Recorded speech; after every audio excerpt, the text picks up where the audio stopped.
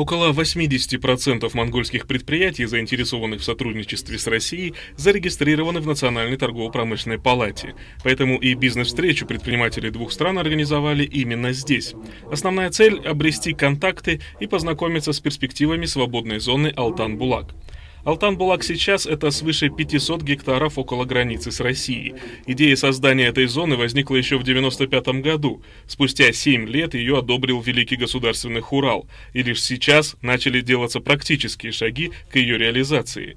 Приехавшие россияне здесь впервые, но монголы надеются привлечь их к развитию инфраструктуры. Компания, которая сегодня из России приехали, по этим направлениям будет работать. Техника разная нам предлагают, строительная, дорожно-строительная, сельхозтехнику, которая очень сейчас у нас востребована.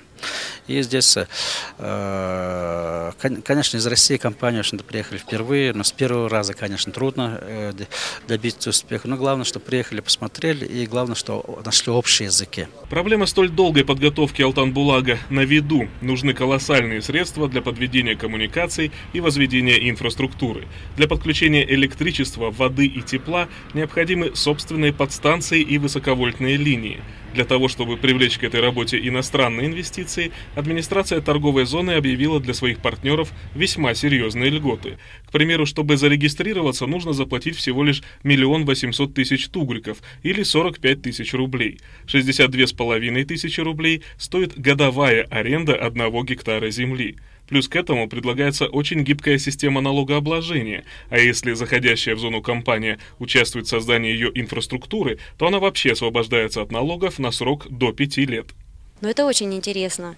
А, дело в том, что мы занимаемся очень сложным технологическим оборудованием, а, и оно достаточно востребовано не только у нас, а как мы поняли на выставке и здесь тоже.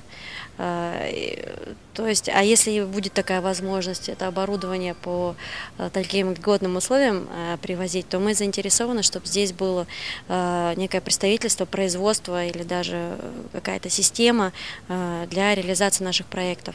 Какие плюсы для российского бизнеса? Сегодня э, свободная торговая зона убирает многие бюрократические барьеры на пути бизнеса. Во-первых, это любой э, малый малый бизнес сегодня может заходить в торговую зону. Он не платит там ни НДС, ни пошлину, не платит акциз, если есть акциз. И сегодня э, в совокупности, то есть он может сегодня находить контакты не только с монгольским бизнесом, а также может с другими странами, которые сотрудничают здесь, вот с Монголией. Это Сингапур, Малайзия, Китай, Япония, Корея. То есть открываются очень большие просторы. Также сегодня и для малого бизнеса Монголии это очень выгодно, потому что наши бизнесмены могут покупать качественные товары Монголии, это шерстяные изделия, это обувь качественно кожаная и многие другие товары. То есть сегодня вот именно для малого бизнеса открываются большие просторы. Тема очень хорошая. Я думаю, что через год, через два эта торговая свободная зона Алтанбула, она откроется полной своей, откроет все свои полные возможности.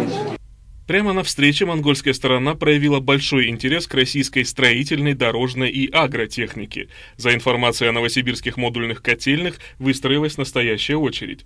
Такое внимание дает россиянам повод думать, что участие в проекте «Алтан-Булак» становится просто необходимым. Это интересно не только для нас, как для производителя, это в первую очередь интересно будет и для конечного потребителя, что позволит минимизировать цепочку от производителя – до конечного потребителя и самое главное, естественно, снизить конечную цену. Бизнес-встреча предпринимателей Монголии и России проходила одновременно с Улан-Баторской строительной выставкой, поэтому всем интересующимся конкретной техникой россияне могли продемонстрировать ее на практике. Вообще, впервые приехавшие в Монголию бизнесмены были приятно удивлены открытостью монгольских партнеров.